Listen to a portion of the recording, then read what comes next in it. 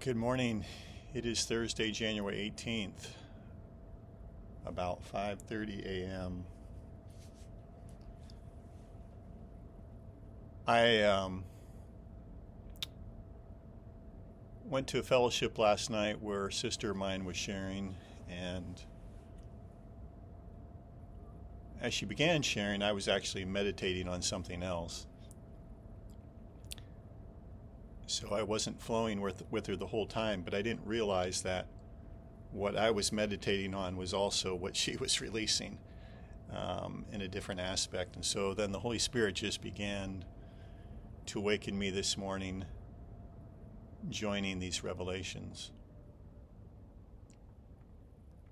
In Genesis chapter 2, verse 7,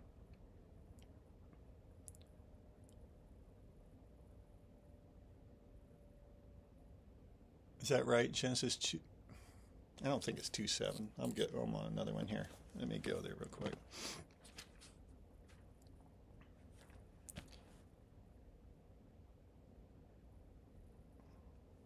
I think it's 128, isn't it?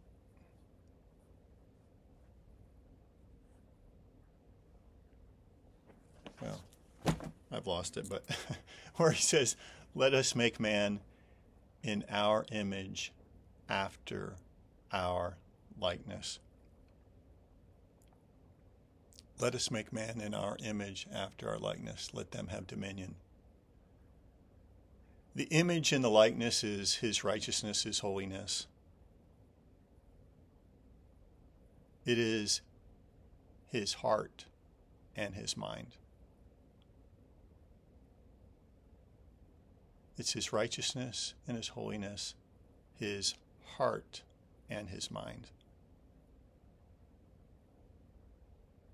If we try to live with his mind and not with his heart, we live under a carnal commandment. We live under the law of the Old Testament. See, under the Old Testament, their heart was hardened. So they were in a law of bondage. See, the law of liberty joins the heart and mind of God. They were never meant to be separate. That's why in the garden you had the man and the woman. It was the heart and the mind joined in one. Eve had the heart Adam had the mind. But they were never meant to function separately. And thus, the division in the garden, the enmity, and thus the heart was not joined to the mind.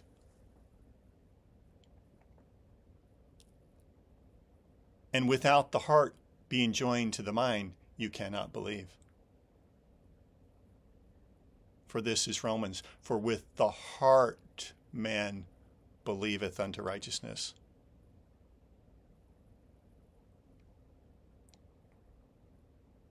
This is why their hearts were hardened.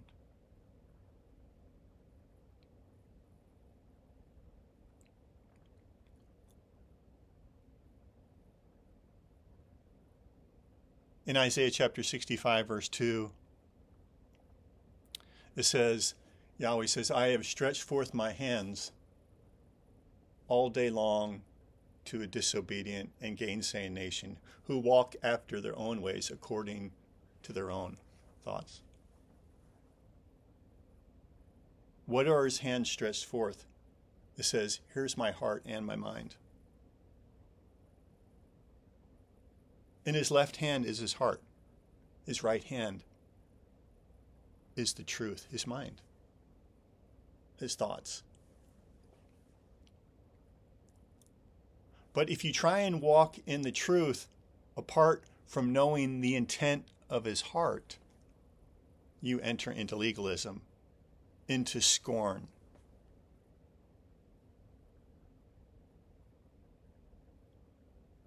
Because the law of truth was never meant to be separate from the intent of his heart.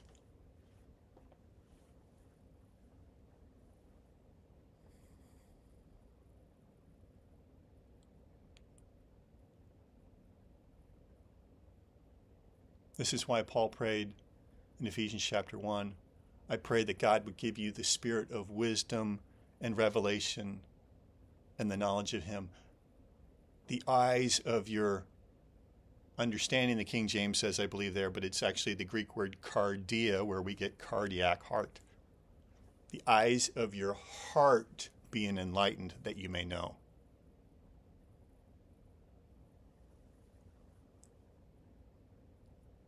This is why Paul in Ephesians chapter 4 said,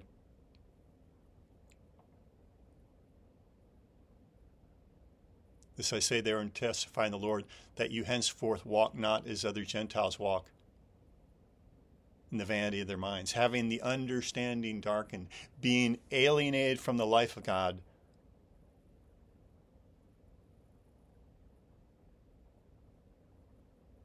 Through the ignorance that is in them, because of the blindness of their heart.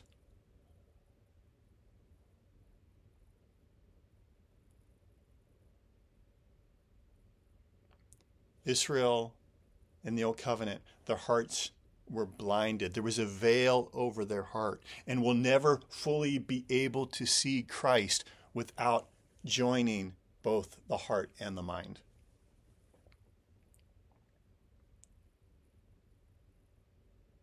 When you try and walk in truth without the intent of his heart, you have scorn, you have you have judgment,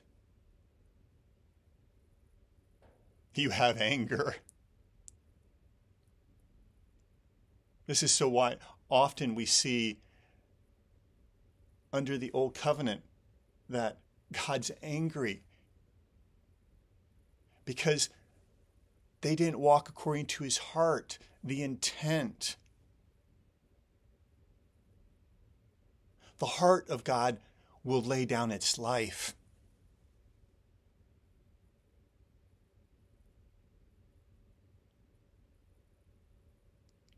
Jesus came with both the heart and mind of the Father. This is why he brought a law of liberty. Come unto me, Matthew 11, 28. Come unto me, all who labor and are heavy laden, trying to fulfill this law of love. You can't fulfill it without the heart of the Father. You can have the truth of his mind and not but not be able to fill you cannot fulfill without his heart you need his heart and his mind come unto me all who labor and heavy laden and i will give you rest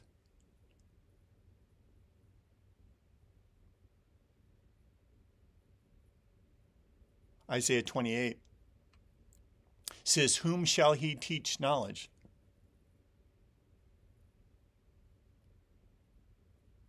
This is his heart. And whom shall he make to understand doctrine? The truth, his mind. Them that are weaned from the milk and drawn from the breast. If you look at the context, it's of these apostate, scornful teachers.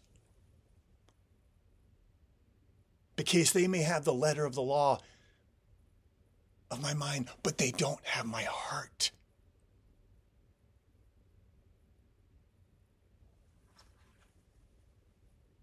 Whom shall he teach knowledge, and whom shall he make to understand doctrine? Them that are weaned from the milk and drawn from the breast of these who don't have my heart. For precept upon precept, precept upon precept, line upon line, line upon line, they give you the law. They give you the truth without the intent of the heart.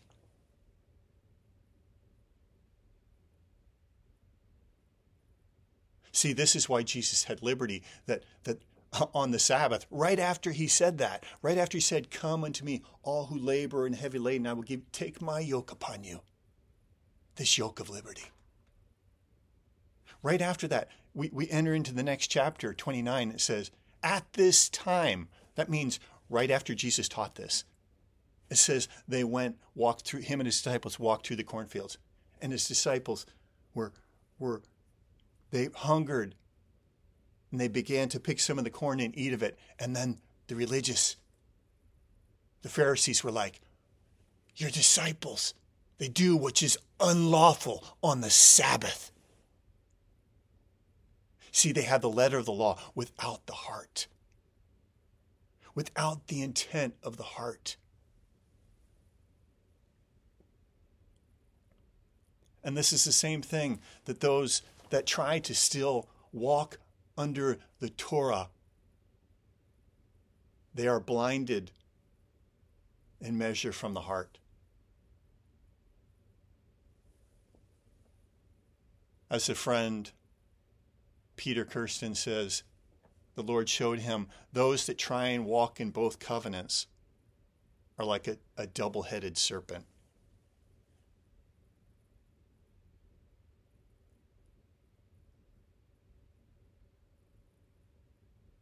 the issue of the old covenant being never never being able to walk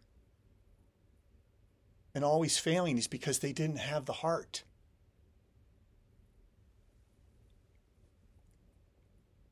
The hearts were darkened, being alienated from the life of God through the ignorance that is in them because of the blindness of their heart who being past feeling have given themselves over to lasciviousness, to work all uncleanness with greediness. But you have not so learned Christ.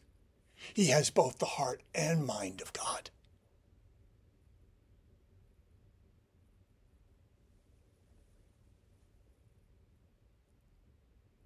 If you have heard him and have been taught by him as the truth is in Jesus, one who has both the heart and mind of God that you put off concerning the former conversation or the former conduct, the old man.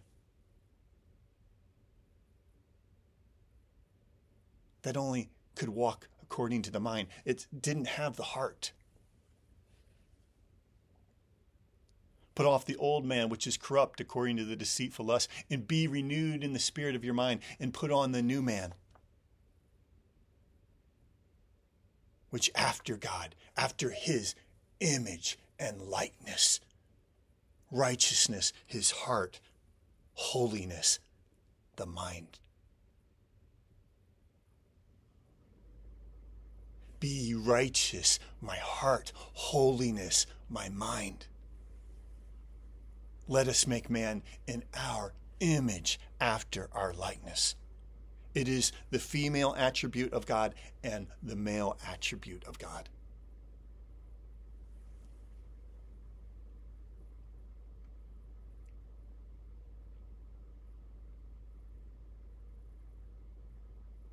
In Isaiah chapter 11,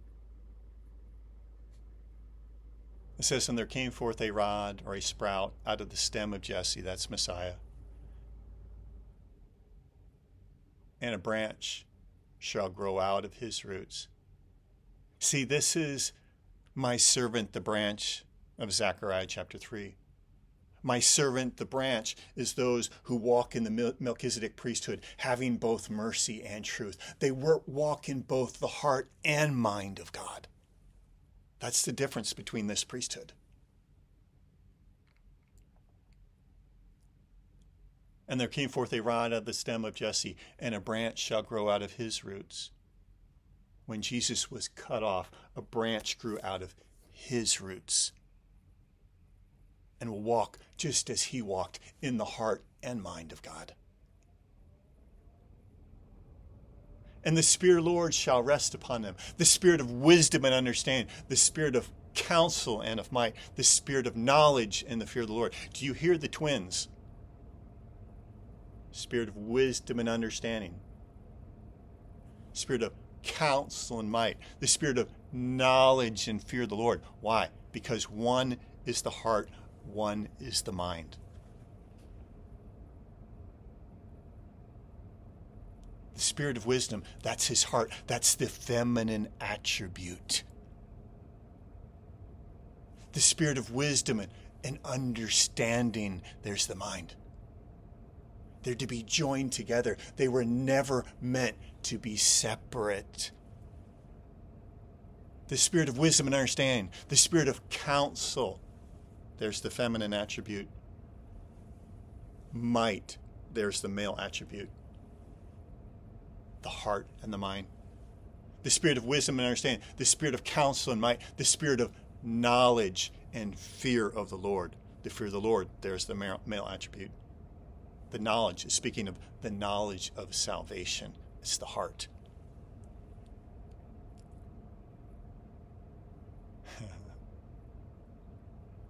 the Spirit of the Lord shall rest upon him, the Spirit of wisdom and understanding, the Spirit of counsel and might, the Spirit of knowledge and fear of the Lord.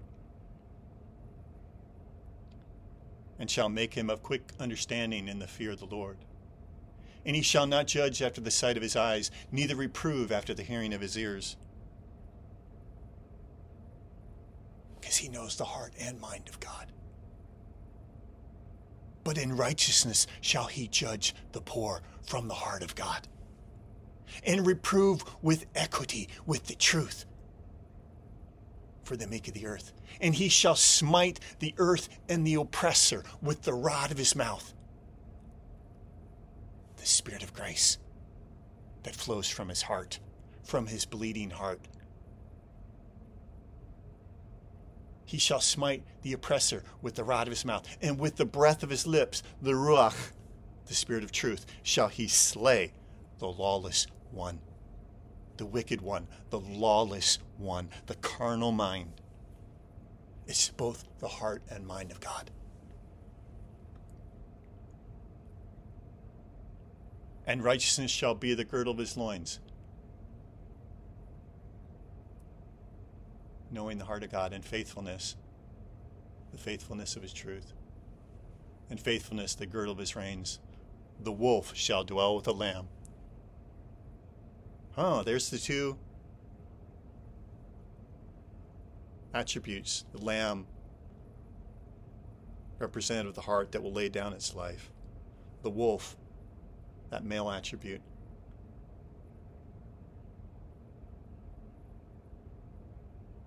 The wolf shall dwell with the lamb, the leopard shall lie down the kid, with the kid. The calf, the young lion, and the fatling together, and a little child shall lead them. The ox and the bear shall feed, and their young ones shall lie down together. And the lion shall eat straw like the ox.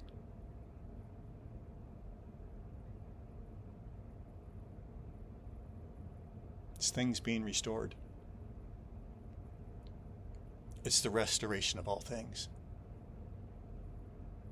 It's functioning not just out of one side of our mind, but both.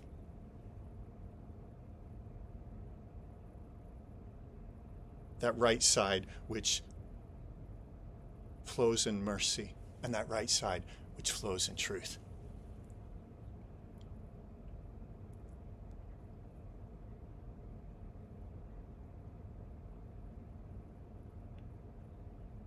we see in Isaiah 61. It says, The Spirit of the Lord shall rest upon me. What's that? The spirit of wisdom and understanding, the heart and mind, heart and mind, heart and mind.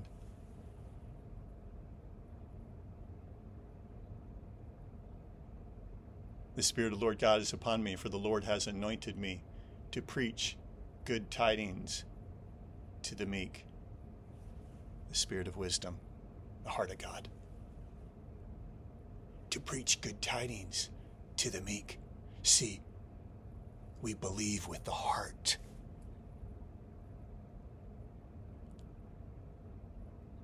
You sent me to bind up the brokenhearted, to proclaim liberty to the captives and opening a prison to them that are bound,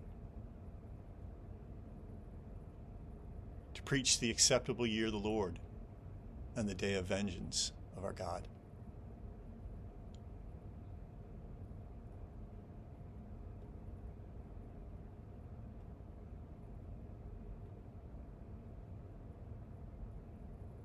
when Jesus came to Israel.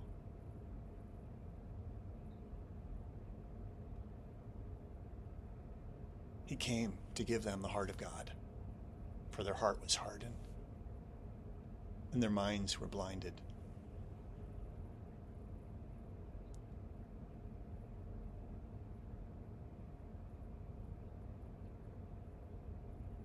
The law was given by Moses. Grace and truth came through Jesus Christ. You know, we see in the world Grace is a feminine name. When people, those who have the name Grace, it's, well, I've never known a male that has the name Grace. There could be. Because it's that feminine attribute that flows from his heart. Grace and truth came through Jesus Christ.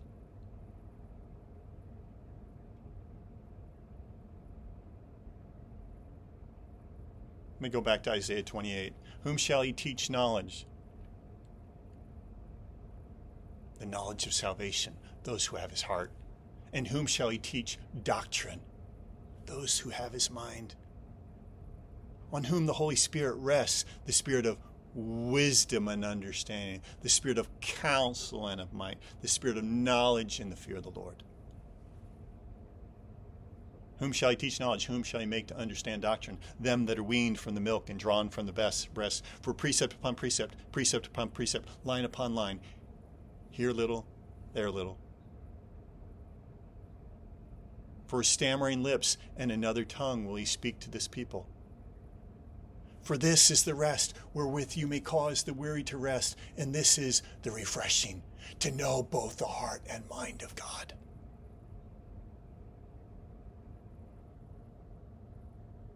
This is the rest wherewith you may cause the weary to rest, and this is the refreshing. But they said, We will not hear. We will not walk therein.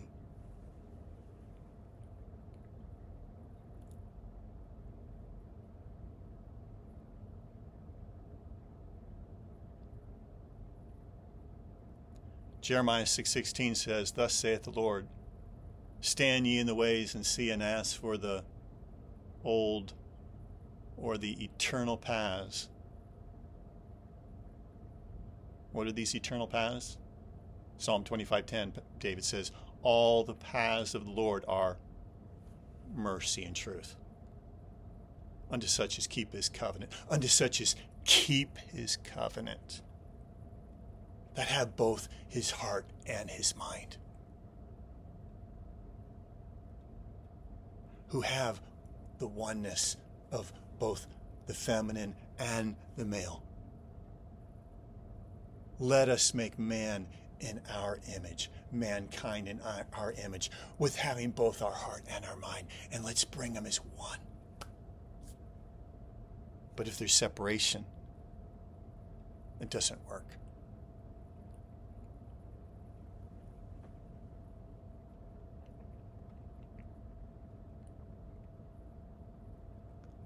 Thus saith the Lord, stand ye in the ways and see and ask for the ancient or the old, the eternal paths, mercy and truth.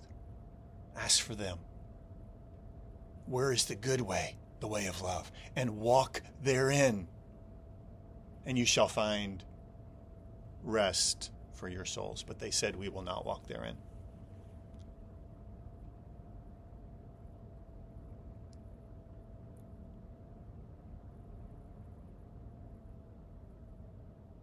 Father, I thank you.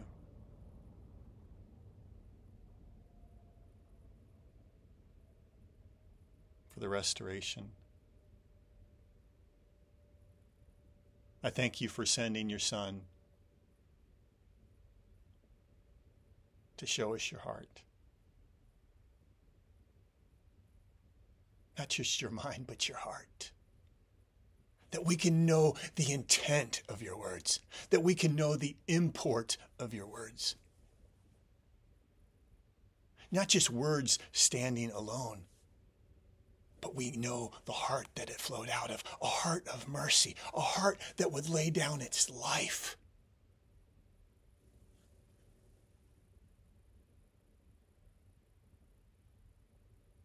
The heart of a mother.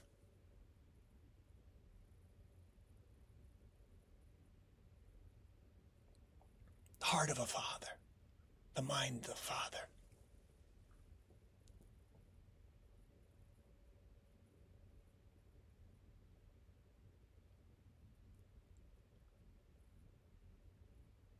And Jesus, as he laid down his life and ascended to the right hand of the Father, from there he poured out the Spirit of truth.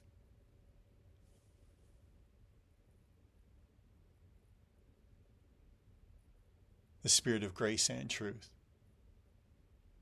For the law was given by Moses. Grace and truth came through Jesus Christ. Holy Spirit brought the Spirit of grace and truth, the heart and the mind joined together in one.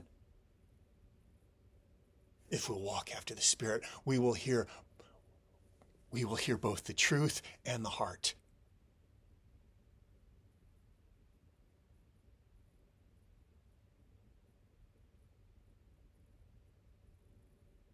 And we can believe because we understand his heart.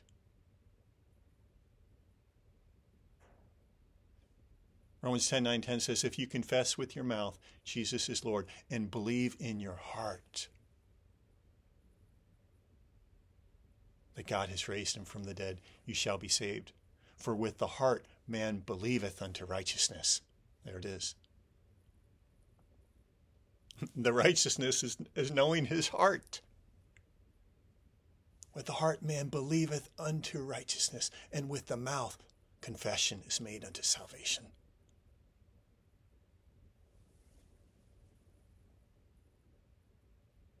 Holy Spirit, I thank you for connecting this up in our hearts and minds. That we may be one. That we may be one as you are one, having both your heart and your mind.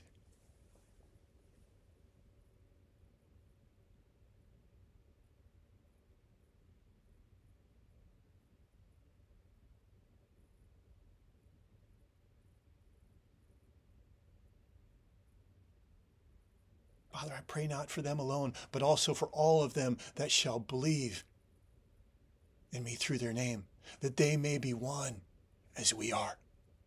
One. As thou, Father, art in me, and I in you, that they may be one in us. That the world may believe that you have sent me. And the glory which you have given me, glory of the Holy Spirit,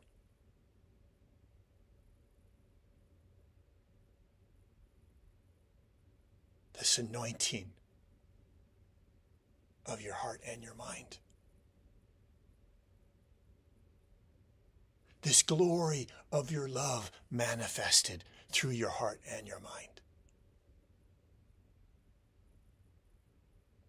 This revelation of your love.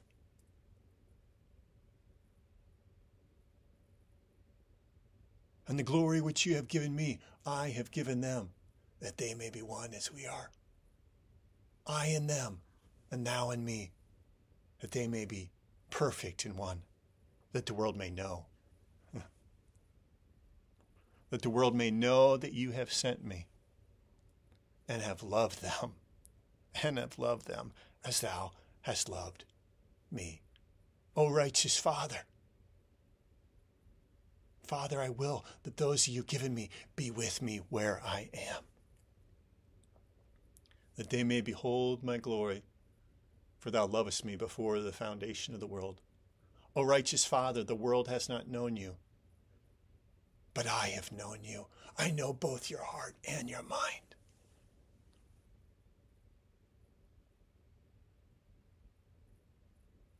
And these have known that you have sent me, and I have declared unto them your name, and will declare it, that the love wherewith you have loved me may be in them, and I in them.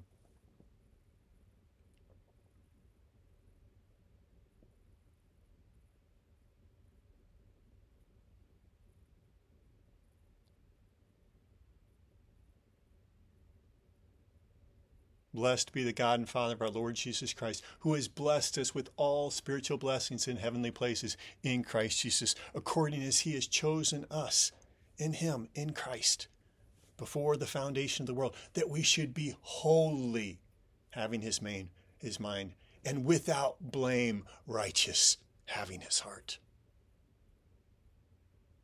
That we may be holy and without blame before Him in love, having predestinated us unto sonship through Jesus Christ unto himself, according to the good pleasure of his will, unto the praise of the glory of his grace, wherein he has made us accepted in the beloved, in whom we have redemption through his blood, that bleeding heart. Receive the heart of the Father.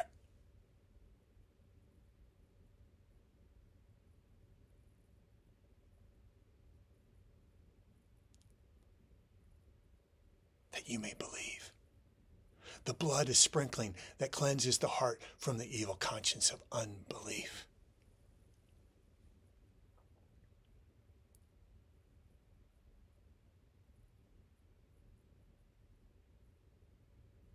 Holy Spirit, I thank you for quickening our hearts and our minds.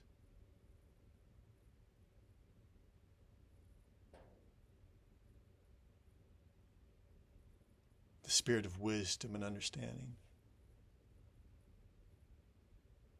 You give us the spirit of wisdom and revelation and the knowledge of you. The eyes of our hearts being enlightened that we may know what is the hope of your calling and what the riches of the glory of your inheritance in the saints and what the exceeding greatness of your power to usward who believe according to the working of your mighty power which you wrought in Christ when you raised him from the dead and set him at your own right hand far above all principality power dominion and might in every name that is named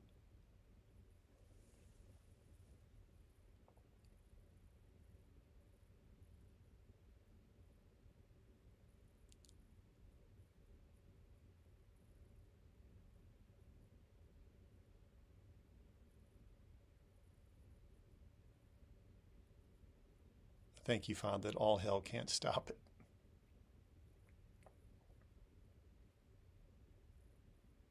I thank you for the restoration of all things that shall be manifested through those who walk according to your heart and your mind. The Psalm 110 says, Sit thou at my right hand until I make thine enemies thy footstool. Yahweh shall send forth the scepter of thy strength out of Zion. Rule thou in the midst of thine enemies. See, the reign of the king is in mercy out of his heart. The rule of the king, the law, is out of his mind. Out of his mind. From his mind. See, that's why we have the reign of the kingdom and the rule. The rule is the truth, the mind. The reign of God is from his heart, his mercy. That's why Isaiah 16:5 says, "In mercy the throne is established, his heart, and he shall sit upon it in truth." His rule, his law, his his mind. In mercy the throne is established, and he shall sit upon it in truth. Truth coming out of his heart that will lay down its life. In mercy the throne is established, and he shall sit upon it in truth in the tabernacle of David, judging and seeking judgment and hasting righteousness. This is righteous judgment that flows out of both the heart and mind of God. Thank you, Father. I thank you for this Spirit resting upon us in full measure. that we may walk just as you walked. That we may walk just as your Son walked. Holy and without blame before you in love. As David says, I will walk before Yahweh in the land of the living through mercy and truth with your heart and your mind. Proverbs 16:6 6, By mercy and truth the heart and mind of God iniquity is purged the antichrist spirit